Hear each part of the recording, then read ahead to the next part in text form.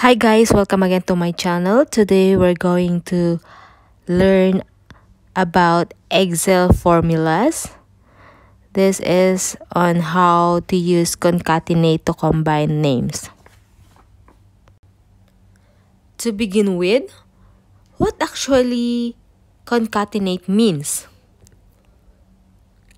Well, concatenate is just another way of saying to combine or to join together. The concatenate function allows you to combine text from different cells. Like in this, in our example, you can use it to combine the text in column A, B, and C to create a combined name in a new column.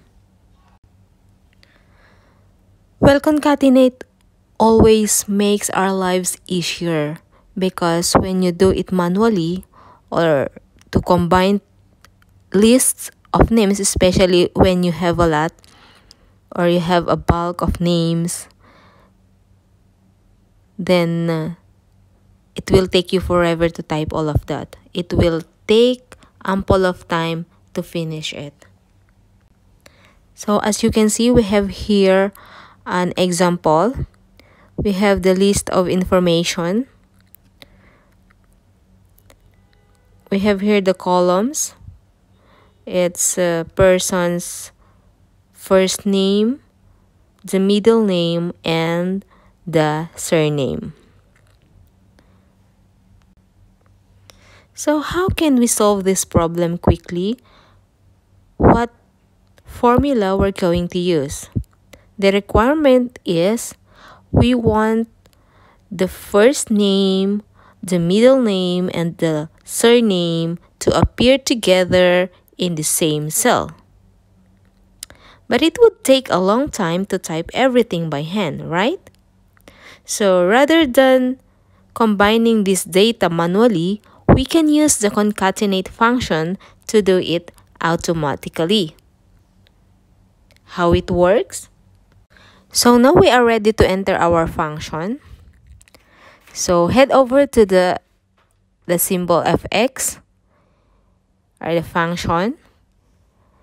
And this box will appear if concat is not there in the list you can type concat here and then and then just click go.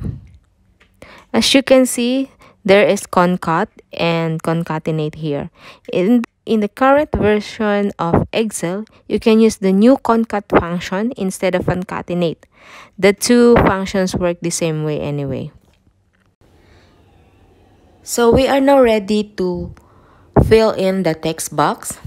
Okay, for the text one, we want this the first name. Okay, and for the text two is for the middle name. You may have noticed that the first name and the middle name has no space between them. And we don't like that one. So, how are we going to add the space?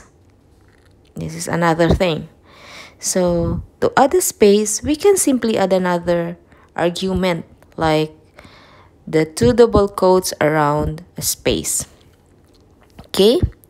So for the text tree, we'll just put the middle name. And same thing for before entering the, the surname, we have to put again a space. Okay? So that's it guys. Now, what we are going to do next, uh, this is the beauty of on Excel.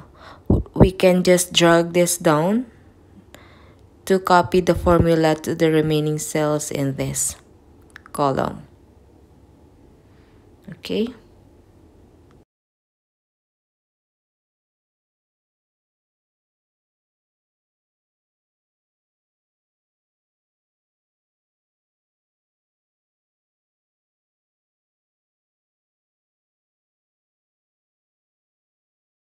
So that's all again for today. I hope you learned something.